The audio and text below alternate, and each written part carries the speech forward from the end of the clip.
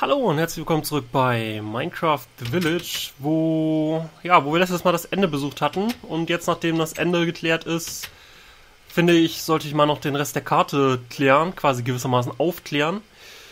Deswegen werde ich jetzt in dieser Folge zumindest, vielleicht noch in der nächsten, einmal ein bisschen wieder rumlaufen und hier den letzten Teil von dieser Karte noch aufdecken. Ja, im Dorf ist ein bisschen was noch passiert, also auch nicht so gute Sachen. Wir hatten ja jetzt hier unsere eigenen, unsere eigenen NPC-Dorfbewohner im Dorf aufgebaut.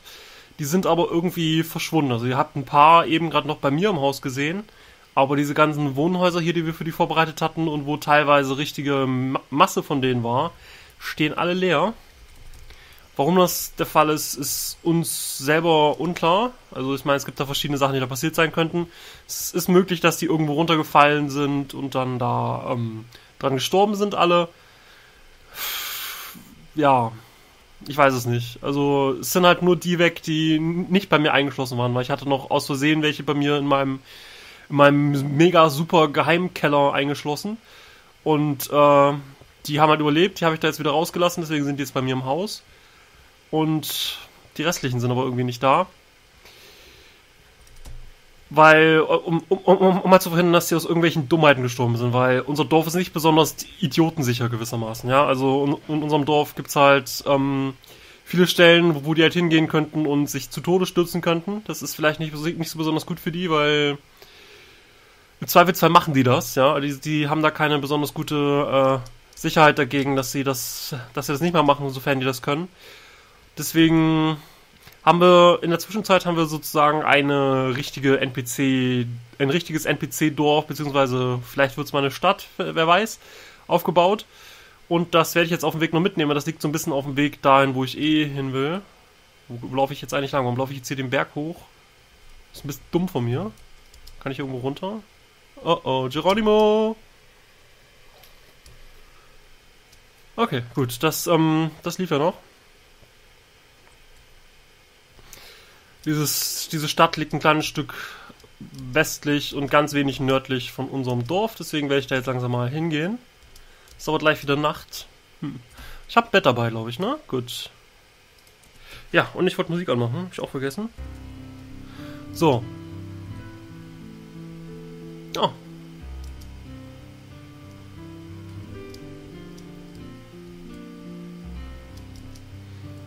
So, jetzt ist aber, glaube ich, langsam mal dunkel genug für Schlafenszeit und so.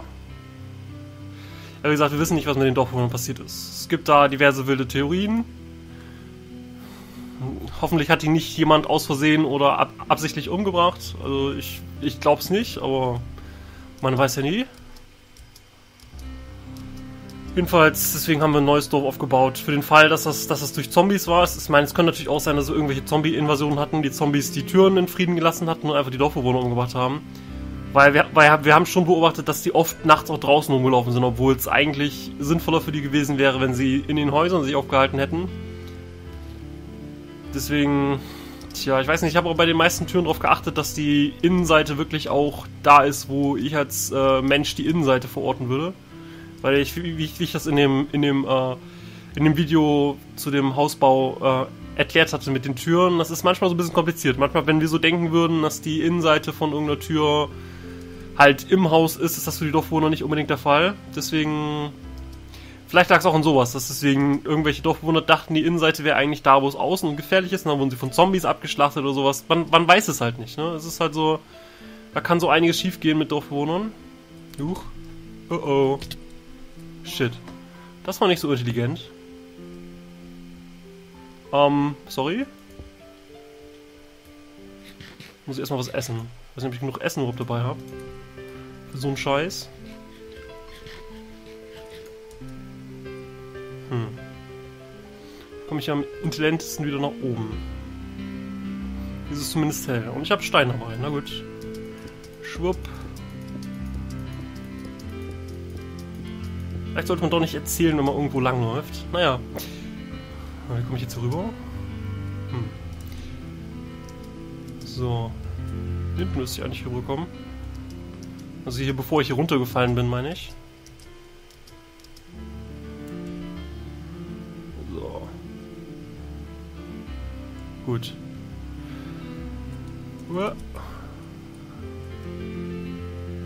So, vorsichtig sein hier. Sorry.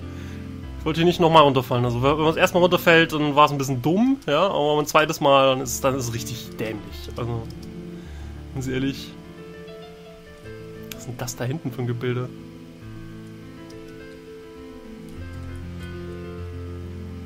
Hm. Sehr seltsam. Ich glaube, ich bin noch gar nicht weit genug westlich. Für das Dorf. Also für die Stadt. Vielleicht hätten wir mich einfach hin teleporten können. Wir haben einen Teleporter dahin. Ich dachte aber, ich zeig, zeig den Weg und laufe dahin, weil ich dachte, dass ich es wiederfinde. Aber anscheinend habe ich mich geirrt. Was ist das denn hier? Andrenas Sims 4 Haus. Aha. Ja, wir haben auch noch neue lustige Mods installiert, sodass man einen Container abschließen kann. Ich weiß nicht, wieso er jetzt hier seinen Baumaterial-Container abgeschlossen hat.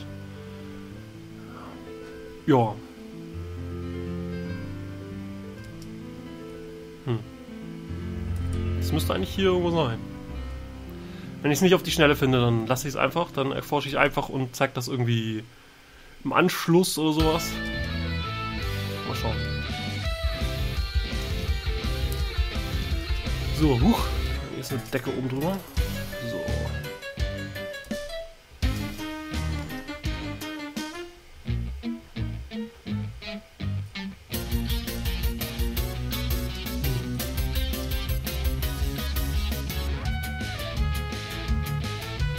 Nicht sicher, ich dachte, das müsste hier irgendwo sein. Da hinten vielleicht.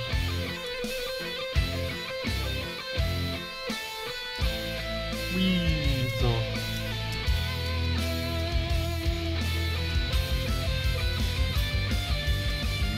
Nee, dann ist einfach bloß irgendeine Säule. Warum man diese komischen Säulen aufbaut. Hm. Ja, ich weiß es nicht. Tja, suche ich jetzt danach? Ich gucke mich noch einmal um. Ich gucke mich einmal nur mal kurz um, Entschuldigung. Bin mir bewusst, dass ich das besser vor hätte vorbereiten sollen. Ich dachte, ich finde das so einfach, wenn ich einfach nur nach Westen gehe und ein kleines Stück nach Norden. Aber anscheinend habe ich mich geirrt.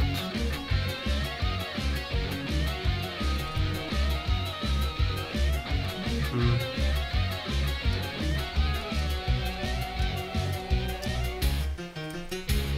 Tja, ich weiß es nicht. Anscheinend finde ich es nicht. Dann gehe ich einfach mal weiter. Ich wollte jetzt den Rest der Karte erforschen. Machen wir das jetzt einfach mal. Vielleicht finde ich es auszusehen auf, auf dem Weg. Ja, also ausschließen kann man es nicht. Ja, hm, sprach ich und ich fand's. Ja. Hm, hm, hm. La la la. Ja. Hm. Was ist das hier eigentlich? What the frack?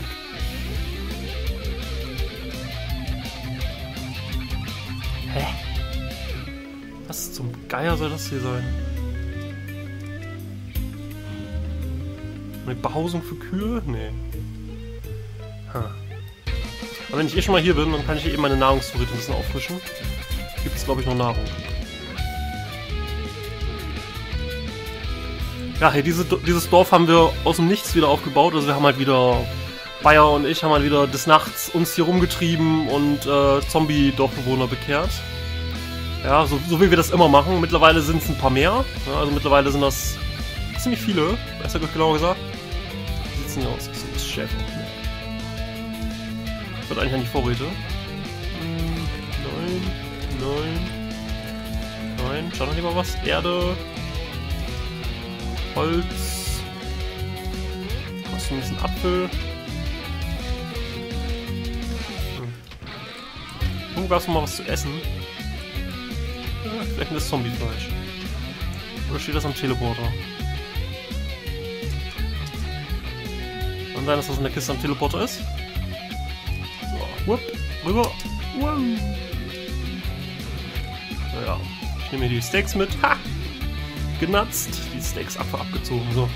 Jedenfalls hier gibt's jetzt, ähm, wird jetzt unser, unser Markt, heißt das, wird hier aufgebaut. Hier wird's, hier können wir auch unsere, unsere Erzeugnisse verkaufen, andere Erzeugnisse von den Dorfbewohnern einkaufen, also sozusagen so unsere benachbarte Stadt, die vor sich selber dahin siedelt. Das ist so der langfristige Plan, dass hier so eine Art Handelsstadt entsteht, wo wir halt unsere Erzeugnisse von uns auf dem Dorf verkaufen können und hier gibt's halt jede Menge NPC-Dorfbewohner. Das ist so der ungefähr der, lang, der langfristige Plan dafür. Wann und wie weit wir das umsetzen, das ähm, tja, sehen wir irgendwann. wenn wir dazu kommen.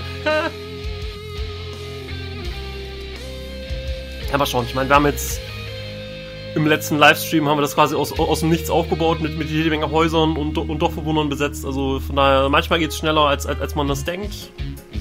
Manchmal dauert es länger, also ja, man weiß es nicht. Da kann man irgendwie so schlecht so äh, Schätzwerte liefern, weil bei so einem Community-Projekt kann es manchmal sein, dass da viele Leute auf einmal Lust haben, was zu machen und dann geht es ganz schnell und manchmal, oh ne, ich habe jetzt gerade keine Zeit und ne, oder manche Leute melden sich halt einfach gar nicht und dann geht das halt nicht, ne, deswegen, tja, schwierig zu sagen. So gut, jetzt habe ich die ersten fast 10 Minuten damit vergeudet, das Dorf zu finden. Tut mir leid. Jetzt wollen wir mal hier ein bisschen rumlaufen, aber. So, was haben wir denn hier Tolles?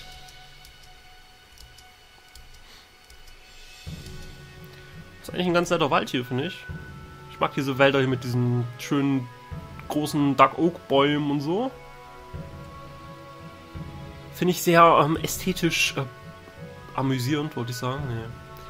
Ich wollte eigentlich, das, das, das, das wieder so, das, das so wieder mein, mein persönliches Sprachproblem. Meine, meine, meine Kopfsprache sind in den meisten Tagen Englisch. Deswegen habe ich so intern habe ich gedacht, ja, ich, äh, ich bringe jetzt die deutsche die, die deutschen Sprechen für aesthetically pleasing. Ja, und dann habe ich darüber nachgedacht und so einen deutschen so, hä, was ist da jetzt eigentlich da die Entsprechung? Ist hübsch anzuschauen wahrscheinlich. Wäre wär, wär, wär so das, das Richtige gewesen, ja. Das ist so manchmal so mein Sprachproblem an den meisten Tagen. Naja. Passiert. Whoops. Okay. Das Loch will ich mal hier um, umlaufen. Das ist so ein In Instinktreflex von mir, wenn irgendwas komisch aussieht. Erstmal, erstmal Schwert in der Hand, dann, dann nachdenken, was man als nächstes macht. Außerdem verdeckt das Schwert halt nicht so viel von, vom Bildausschnitt. Ne? Wenn, mit der Karte in der Hand, dann sieht man halt Sachen auch nicht so gut. Deswegen war jetzt das Hauptziel auch so ein bisschen die Karte da aus der Hand rauszukriegen. Hm, lecker Äpfel.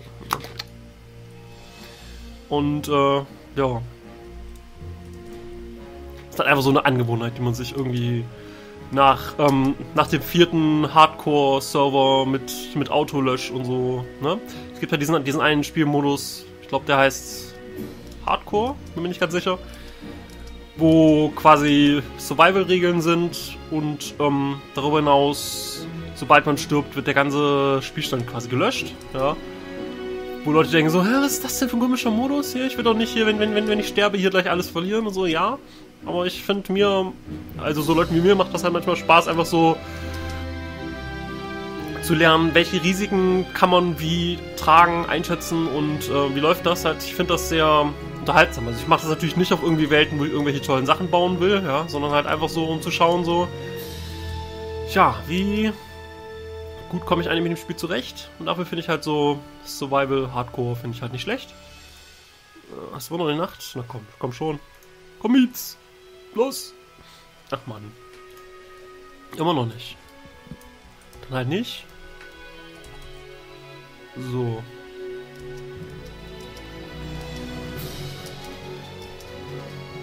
Jetzt aber, oder?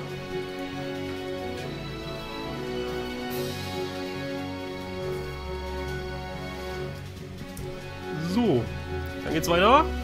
Huch, komme ich nicht durch.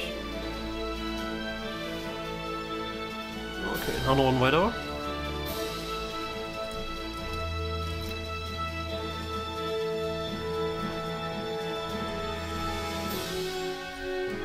Komme ich auch nicht durch. Dieses dichte, dichte Geäst hier überall kommt man irgendwo durch.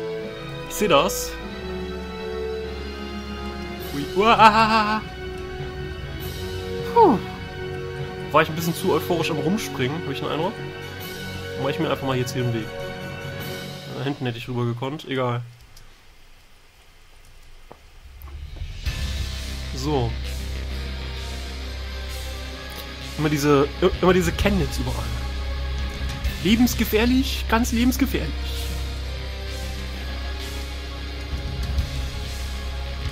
So. Was haben wir hier denn hübsches? Warum gehört es heute nicht mit Final Fantasy Musik auf? Ich weiß es nicht. In der Playlist sind viele, viele äh, Final Fantasy inspirierte Lieder, vor allem äh, von Final Fantasy 6, teilweise auch 7. Jetzt kommt das krasseste von denen. Naja, von mir aus. Ich mag's. Das aber sehr lang, ist so 13 Minuten oder so. Das für die meisten Leute ist das, ist das zu lang. Für mich ist es genau richtig. Aber ich mag auch tendenziell so ähm, halt so Musik, die ein bisschen längere Lieder hat als drei Minuten. Also von daher, also so. Ich höre ja gerne Post-Rock-Musik, ja. Und da gibt's also so von der von der archetypischsten Post-Rock-Band, die man sich vorstellen könnte, Explosions in the Sky. Grüße an dieser Stelle. Ähm, nicht, nicht, dass sie das Video schauen würden. Nein. Ähm, die machen halt auch so im Schnitt so sieben Minuten Lieder. Ja, ich finde das auch total, total nett. Oh, anderen, denen ich das gezeigt habe, dachten dann so manchmal so, ist jetzt langweilig, da passiert irgendwie erst drei Minuten fast nix, ja. Dann geht es zwei Minuten total ab und dann passiert wieder drei Minuten nix, ja. Ähm, ja. Das ist so, ich mag's halt. So Lieder mit äh, Aufbau und die nicht einfach so mir das äh, ins Gesicht schmeißen quasi. So, hier, hier ist unser, hier ist unser Thema. Geht geil ab, hier. Headbang, los, los, jetzt! Und dann nach drei Minuten ist es wieder vorbei. Ich finde halt so Aufbau und Steigerung und sowas finde ich, find ich ja sehr nett. Und wie gesagt, also da gibt es halt so dieses diesen Archetypus verkörpert durch Explosions in, in, the Sky, die halt so 5 bis 7 Minuten Lieder machen. Also was so ein bisschen länger ist als so der normale Usus bei, bei Popmusik und ein kleines bisschen länger als der normale Usus bei Rockmusik ist. Und dann gibt es noch die ganz schlimmen Fälle, ja, zum Beispiel eine sehr lustige Band mit dem, mit dem sehr tollen Namen Godspeed You, äh, Black Emperor, ähm, die ähm, so eher so 20 Minuten Lieder machen. Aber da, das, das als Lied zu bezeichnen ist, ist ähm, relativ weit hergeholt, finde ich, weil, also die selber sagen auch nicht, dass, das, dass man das mit normalen Liedern vergleichen sollte, das, halt, das ist halt eher so Arrangements oder wie sie es nennen, Movements sind, die halt in einzelne Subteile aufgeteilt sind. Also von daher, ja. Aber wie gesagt, deswegen, ich, ich mag lange, längere Lieder. Jetzt, um wieder den Kreis zu schließen, ja. Das Lied, was jetzt läuft, ist irgendwie lang. Ich weiß nicht, ob ich die Folge jetzt darauf hinausdrücke, bis das vorbei ist. Ah, wahrscheinlich schon. Ah. Jedenfalls, ähm, ja. Nein, ich, ich mag lange Lieder, mich, mich stört das nicht. So, was haben wir hier eigentlich? Ist ja hübsch. Ein bisschen Berge, Wasser, das hier an der Seite raussprudelt, gefällt mir. Vielleicht baue ich meine mega geheime Burg hier irgendwie auf der Bergspitze. Wenn jeder Trottel eine Burg baut, dann muss ich auch eine bauen, oder? Muss der große Trottel auch eine bauen. Ne? Ne? Häschen, hallo. Komischer Vorhang hier. Da hört auf einmal da nichts auf. Da steht auch was im Nichts. Hm. Wahrscheinlich gerade so an der Chunkgrenze. Da, da schwebt auch wieder was in der Luft. ist ja geil hier. Ah ja. Die schwebenden Berge. Ich seh's. Oh, da kommt da noch was. Ja, vielleicht kommt auch noch was. Vielleicht auch nicht. Ups, ich laufe zu weit in Richtung Süden.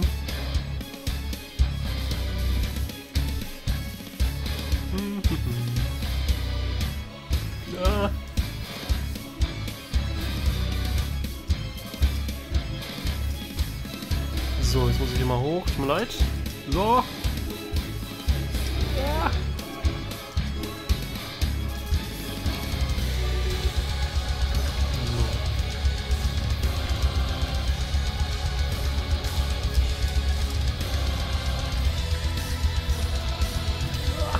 Komm, ich schaff's, ich schaff's nach oben.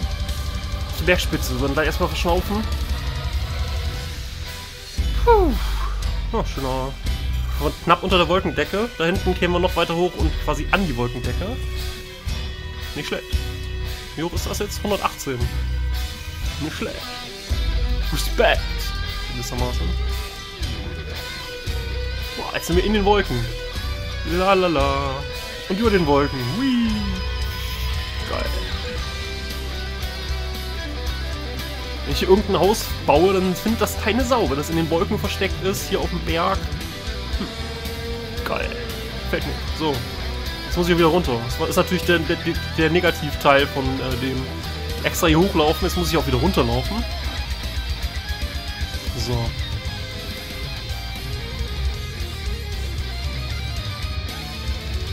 Das ist auf einmal eine Steppe. Süß. Hier die mega hohen Berge rumherum und dann geht da unten geht's, geht's mit der Steppe weiter. Ah, süß. So, wie kommen wir denn hier runter? Huch. Ist ja vielleicht nicht zu steil nach unten irgendwo. Hallo, da vielleicht? So, runter, da runter. So, gut. Ups. War alles so geplant. Und das, das auch. So.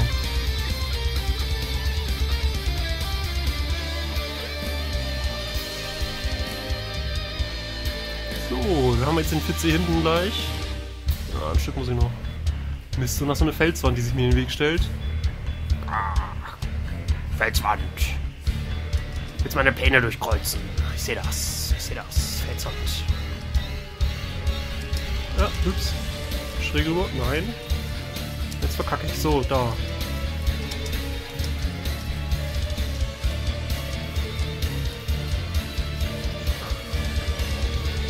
So, jetzt haben wir es, glaube ich. Moment. So, okay. Okay.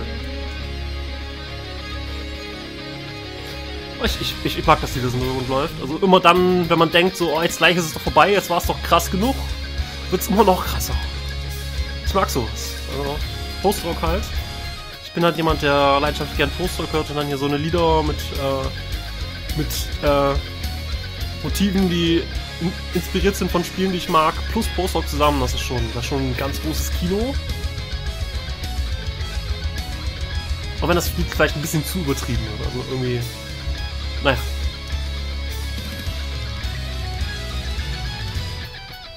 So, gehe ich jetzt erst ganz nach Süden oder biege ich gleich wieder nach Westen ab?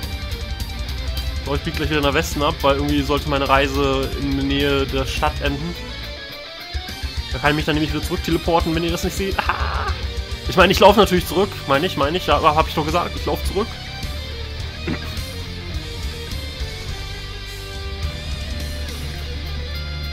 jetzt hier wieder nach Westen. Und gleich ist er wieder Nacht, okay. Okay, okay, okay.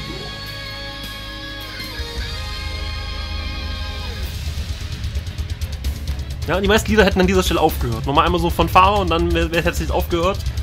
Nein, hier nicht.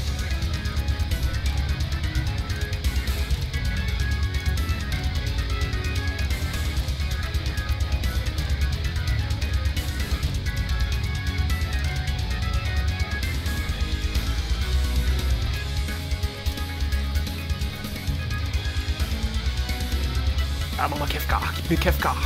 Will mehr Kefka.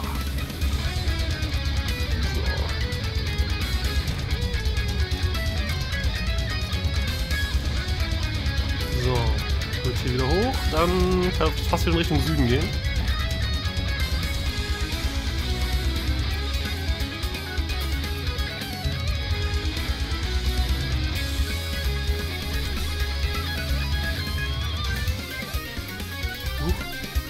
Hier geht's tief runter? Okay.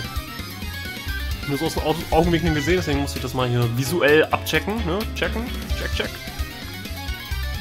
Schwarze Häschen. Guck, brennt's da hinten? Oh. Das müssen wir mal auschecken, was da hinten los ist. Warum da der Wald brennt. Was? Naja, ich glaube, ich check das aus, wenn, wenn äh, ich geschlafen habe. Oder? Ich kann schlafen? Da. Oder nicht?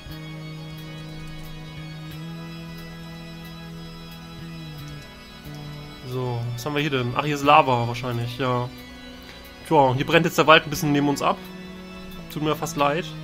Aber ich schlafe jetzt erstmal hier ein bisschen. Ist wenigstens schön warm hier, ne? So neben Lavabecken schlafen. Warum nicht? Solange das Bett nicht abbrennt, ist alles in Ordnung. ist aber auch lustig. Schläfst hier und auf einmal brennt dein Bett ab. So. Ich könnte die Lava jetzt zum Erlöschen bringen, aber. Ja. Die Lava hat auch Gefühle, ne? Die Lava möcht, möchte auch hier einfach bloß äh, vor sich hin äh, kokeln, ne? Also. Deswegen fände ich das ein bisschen gemein, wenn ich die jetzt einfach hier lösche. Ne? Ich meine, um die Bäume tut es mir auch leid, ja. Also deswegen habe ich da irgendwie so ein, so ein ähm, moralisches Problem, so auf wessen Seite ich sein sollte. Auf der Seite Bäume oder auf der Seite Lava. Deswegen, ich halte mich da raus, ja. So. Da brennt es schon wieder. Was ist denn hier los? Huh.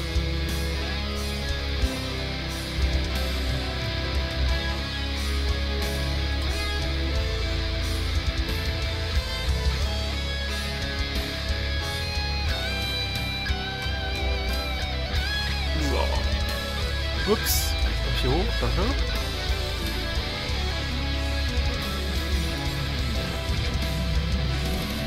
Da komme ich nicht durch.